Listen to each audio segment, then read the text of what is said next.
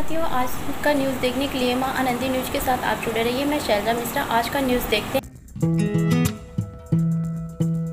The biggest dance platform of Dance of Fire.